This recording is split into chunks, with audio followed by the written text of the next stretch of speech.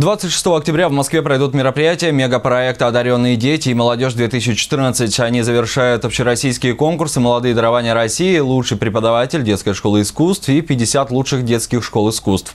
На церемонию награждения победителей приглашена преподаватель детской школы искусств номер 2 Татьяна Томанова.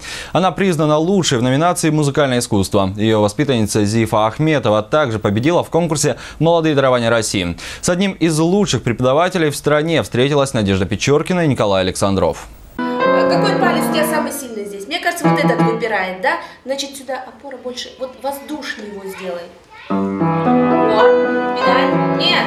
Педаль плохая. Ее ученики берутся за исполнение сложных произведений. Татьяна Томанова способна заразить своей любовью к музыке каждого, кто садится за инструмент. О победе в общероссийском конкурсе говорит неохотно, хоть и понимает ценность признания своего труда на федеральном уровне. Быть победителем конкурса «Лучший преподаватель России» это немножко, наверное, неправильно, даже некорректно, потому что ну, 50, 50 победителей это на всю Россию это очень мало, потому что в каждой школе и, наверное, для каждого ученика педагог, тот, который с ним занимается, он лучший. Его вообще загнуть, тебе удобнее так играть, что ли? Да?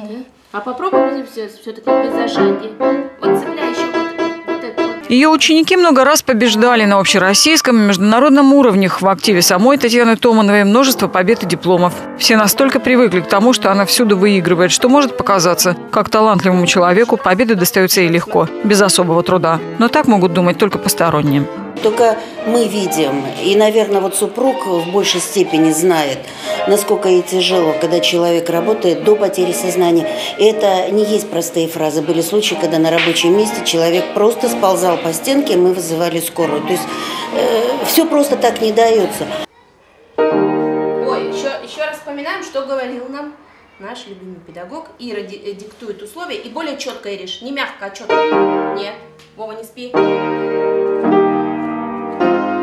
Далеко не каждый ученик способен сыграть хороший дуэт. Принцип подбора от Татьяны Томановой просто сложен одновременно. Говорит, они должны одинаково дышать. Татьяна Владимировна требовательный преподаватель, но, говорят ученики, не строгий. Вообще, мне кажется, что Татьяна Владимировна лучший учитель э, всего мира, года.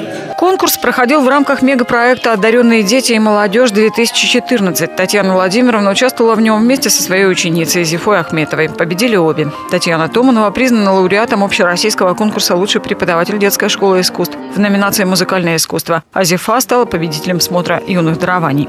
Я очень рада, что это совпало, например, с итогом обучения Ахметовой Зифы вот, в музыкальной школе города Новый Уренгой, потому что она успешно поступила в казанскую десятилетку. Это итог, на котором точку не ставят, потому что подрастают новые ученики, и это достойная смена. Фраза показана на четыре ноты. Поехали. Первое дыхание и объединяем фразу. И. Ведем, ведем, ведем, ведем. Еще, еще, еще. Марш. 26 октября ее ждут в Москве на мастер-классы для получения заслуженной награды. А она, пока не уехала, дает уроки. Щедро делится тем, чего в ее душе хватает на всех. Любовью к настоящей музыке. Надежда Печоркина, Николай Александров, Служба новостей «Импульс».